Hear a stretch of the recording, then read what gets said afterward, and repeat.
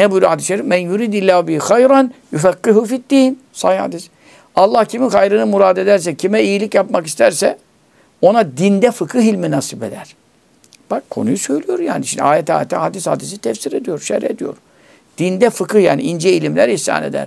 Demek ki bu noktada e, öğrenir, öğretir, kendi amel eder, talim eder. İşte ona Allah katında melekler nezdinde azim, çok büyük zat denilir. E şimdi Resul hocamız bu sıfatlara haiz idi. Hiç şüphesiz. Ben 12 yaşımda tanıştım kendisiyle. 78'de e, işte efendim ben 65'liyim. 78'de kalktım geldim Rize'ye. Onun muhabbetiyle, şevkiyle Efendi Hazretlerimize, Mahmut Efendi Hazretlerimize ziyarete gelmişti. Ben tam o evveliyatını bilmiyorum. Ondan evvel gelmiş ihvan olmuştu. Güzel şalvarlı, cübbeli ve heybetli, iri yarı, nurlu bir zat. O da 35 yaşlarında anca vardı yani. O, o dönemde, 30-35 yaşlarında. İşte ben de orada Hurşit Efendi rahmetullahi aleyh daha evvel gitmişti, kalmıştı. Talvat köyü eski ismiyle yani tütüncüler. Pazarın köyü. Oradan gelmişti anlatıyordu anlatıyordu. Biz heveslenmiştik falan. E ben de İstanbul'da Fatih'te okuyoruz ediyoruz ama Efendi Hazretleri'nin çok meşgalesi var. Ben okutayım seni diyor falan ama okutuyor da fakat efendi çok yani her dakika geleni gideni insanlarla uğraşıyor falan. Hani böyle bir gideyim de ilme kendim şey edeyim. Bir de burada anne baba falan. Ee, biraz gurbet ilmin şartıdır diye bunları bilerek niyet ettik idi. Efendi Hazretlerimiz e, dua etti, yolladı. E şimdi o yaştan sonra işte 70 küsur yaşlarında 72 yaşında falan herhalde olacak. Geçen sene vefat etti edene kadar. E devamlı tabii Rize'den buraya bazı gelemediği oluyordu. Biz gidemediğimiz oluyor tabii bazen aylarca. Görüşülemiyordu. Telefonla görüşülüyordu ama hep gördük. Ne yaptı? Gecenin ikisine üçüne kadar bize ders okuttu. Acıktık deyince kalktı orada pişimi diyorduk. Ne diyorduk işte efendim hamur pişiriyordu. Ondan sonra şu muhlama yapar eliyle. Ondan sonra yiyin, şey edin, efendim işte gecenin birinde ikisine kapısını çalar. Hocam şurayı anlamadım kitaptan kalkar uykusundan. Efendim gelir seninle ilgilenir falan. Talebelere böyle davranıyor. Hiçbir maddi menfaat beklemez, para almaz, etmez. O efendim Allah için bizi okuttu. Benden evvel de bayağı bir gruplar okutmuş yani. E, tabii. Çünkü o da 10 yaşından beri İsmail e, Bölükbaşı amcamız vardı. Resul hocamızın amcası. O çok e, cezbeli, manevi e, şuur sahibi bir zat idi o zaman. Of Çaykara hocaların meşhur onlara gitmiş. Oradan hoca getirmiş, buradan götürmüş. Yani Resul Hoca'nın yeğeninin yetişmesi için çok gayret etmiş yani. Bak şimdi kabrinde yatıyor, kabri nur olsun.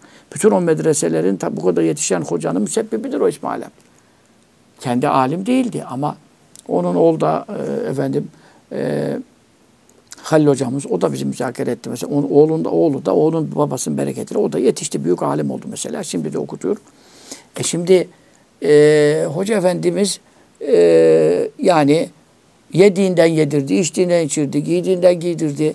Efendim yeri geldi, dereden geçiyordu, sırtına aldı. Sırtında geçirdi. Oradan şunu yaptı, buradan bunu etti. Vaaz etmeye teşvik etti, vaaz ettirdi. Efendim ders okutturdu. Ee, kendi okuttu, bir sonra bize talebe verdi. Bize, yani böyle. İlmiyle amel eder, Kur'an elinden düşmez, zikir ehli, tarikat dersini yapar. Efendim bu şekilde zühd sahibi, zühd. Yani dünyaya soğuk. Bazı hocalar maalesef yani bir itibar olsa, meşhur olursa, zenginler çocuklarını getirirse bilmem neyse ondan sonra onu şey yapalım. Hiç e, oturduğu ev belli, eşyası belli, e, 40 sene geçmiş. Benimle tanıştığımdan ben gelmişim işte geçen sene kadar 57-58 yaşına yani. 12 yaştan düşün 58 yaşına kadar. Hoca Efendi bütün hayatında e, zühd üzere, dünyaya soğukluk üzere hiçbir lüksü yok, lükse düşkünlüğü yok. Yani alimde de en yakışan sıfat zühttür yani. Dünyacı olmamak. Efendim e, okumak, okutmak, e, talebe yetiştirmek, bazı nasihat etmek, şeriat şuuru vermek, şeriat.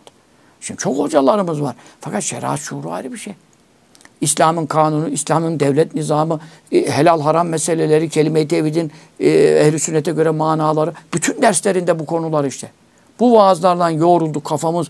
Bunlarla doldu kalbimiz elhamdülillah. Ha şimdi biraz ehl sünnette bir hizmet yapmaya çalışıyorsak hep hocamızın bereketi. Efendi Hazretlerimizden sonra ikinci şey emek ona ait. Dolayısıyla yani Hoca çoktur, alim çoktur, müciz çoktur, mücaz çoktur. Ama hakikaten Resul hocamızın yani yeri başkadır. Yeri başkadır bugün. Hangi hocalar var? İsmail Han İmam Salih Hocası, İsmail Han Fıkıh Etbi Hüsamettin Mallı Hoca. Daha niceler yani yüzlerce e, çok kaliteli alim hoca yetişti. Hoca yetişti. Hep Resul hocamızın e, tezgahında dokundu bunlar. İşte bu da onun ihlas, iyi niyet, yola çıkarken, çocukluğundan o da ilme başlarken efendim Allah rızası için İslam'a hizmet etme gayesiyle e, para celbedeyim, memuriyet alayım, oradan maaş alayım, buradan bilmem ne toplayayım diye değil. Allah için bu işe girdiğinin en büyük alameti nedir? İşte İmam Cezuli hakkında buyruluyor. Delali Hayrat'ın başında yazdığım kaynaklarıyla. Ulema evliya ne diyor? Bir alimin Allah indinde mertebesi ne kadar yüksektir değildir. Anlamak istiyorsanız talebelerine bakın. Eğer talebeleri çok dine hizmet ediyorlarsa ve talebelerine makbuliyet, mahbubiyet verilmişse o hoca efendinin ihlasına delalet eder ki o Allah için okumuştur, okutmuştur ki meyveleri, ürünleri tüti ukulaha kulle haynin biizni rabbiha her vakit e, semeresini vermektedir. Ayetine mutabık düşmektedir yani. Onun için hocamız nasıl anlatalım? Hatıratımız çok. Siz de orada tabii toplandınız diğer